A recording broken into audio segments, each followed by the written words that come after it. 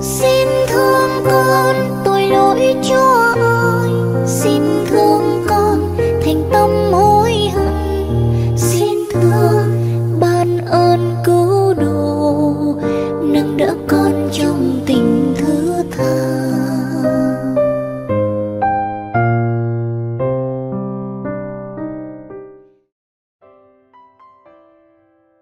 Tin mừng Chúa Giêsu Kitô theo Thánh Matthew.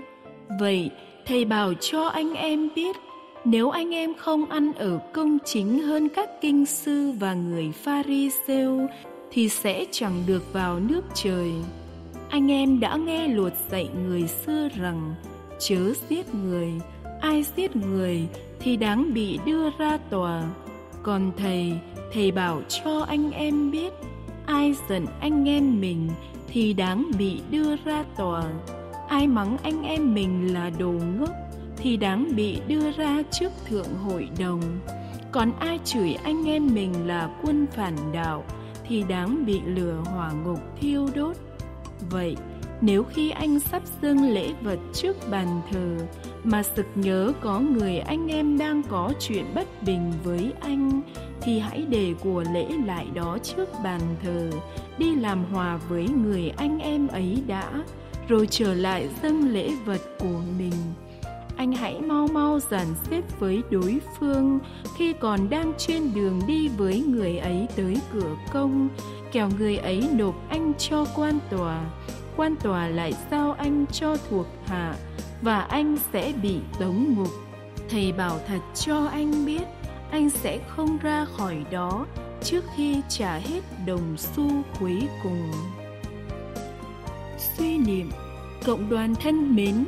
Bài tin mừng hôm nay nằm trong phần mà chúa giêsu giải thích về sự kiện toàn lề luật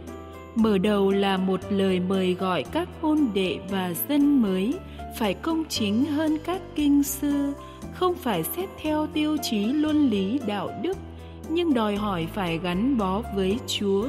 và đặt sự công chính trên nền tảng là chính người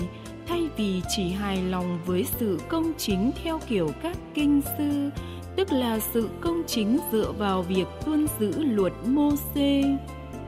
về vấn đề giết người, luật mô-xê quy định kẻ giết người phải bị đem ra tòa xử. Và tùy nghi, luật lấy lại sự công bằng đúng sai, xét về mặt xã hội, và được áp dụng mắt đền mắt, răng đền răng khi phạm nhân đã hành động sai sự kiện toàn của luật tin mừng không chỉ dừng lại ở hành động cụ thể tay chân mới là tội, mà ngay cả việc giận hờn mắng nhiếc nhau đã xứng bị đem ra hội đồng và đáng phải xa hỏa ngục rồi. Thật vậy, giết nhau không chỉ dừng lại ở thể xác, nhưng còn bằng lời lẽ và hiểm kế thâm độc còn đáng sợ hơn biết bao sự kiện toàn không chỉ dừng lại ở tính tương quan con người, mà là thành tương quan đối với thiên chúa xúc phạm đến nhau tức là xúc phạm đến thiên chúa và xứng đáng bị lửa hỏa ngục thiêu đốt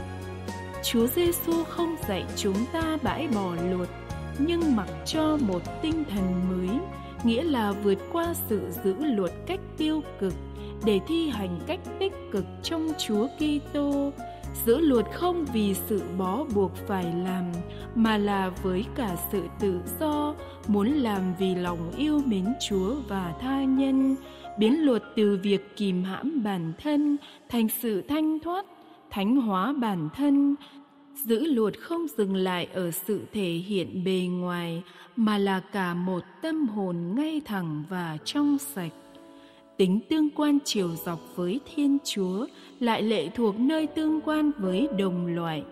Chúa giêsu mời gọi chúng ta, khi dâng lễ mà thấy mình còn bất hòa với ai, thì để của lễ đó mà lo đi làm hòa trước đã. Nghĩa là việc giao hòa với nhau còn cấp thiết hơn cả việc dâng lễ.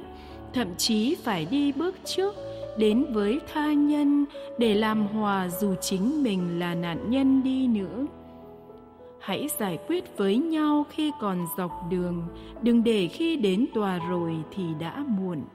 Cùng trong một ý tưởng trên, chúa giêsu nhắn nhủ chúng ta, bao lâu chúng ta còn thời giờ, hãy lo giao hòa với chúa, với anh em và lo canh tân đời sống của chính mình đừng để khi phải ra trước tòa trung thần chúng ta không còn cơ hội để sửa sai nữa và chúng ta sẽ phải đền trả nơi luyện tội cho tới khi đủ số, đủ ngày.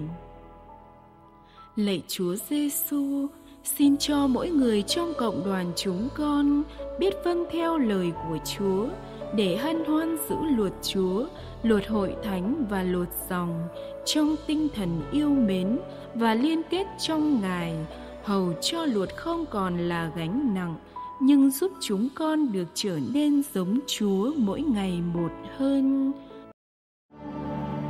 Hỡi thân phận người, hãy biết đời là tạm thời đừng lo thu tích cho mình, sự sống phù du hỡi thân phận người, hãy nhớ mình là chúa bụi một mai ta sẽ trở về cát bụi mà thôi. Sống trong cuộc đời, hãy sống